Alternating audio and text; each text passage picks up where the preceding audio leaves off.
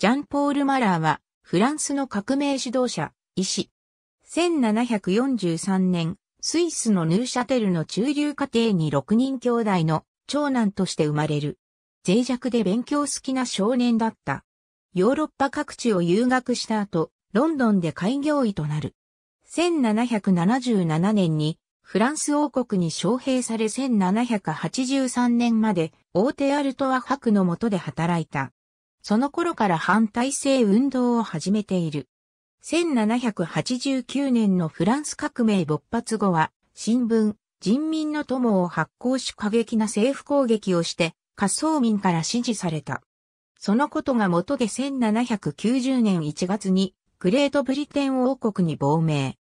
4月に戻ってからコルドリエクラブに入り、8月10日のチュイルリー王宮襲撃事件や、反革命派への9月虐殺を引き起こしたと言われている。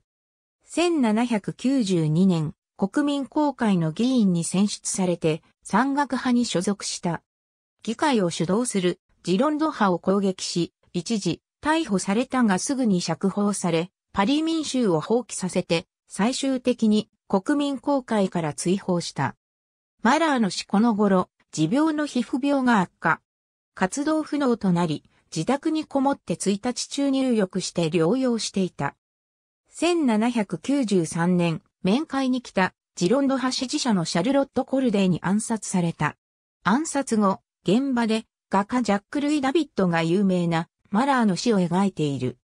ジャコバン派の盟友マクシミリアン・ド・ベスピエールによって神格化され、ジロンド派への弾圧強化の口実となった。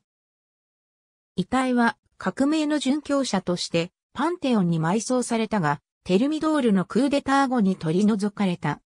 暴力的主張をする新聞を発行していたことで、フランス第二帝世紀には非道な人物と言われ、現在でも革命家か、地に飢えた狼かというように評価が分かれている。また、科学者、アントワーヌ・ラボアジエの処刑は、マラーの支援によるものだとも言われている。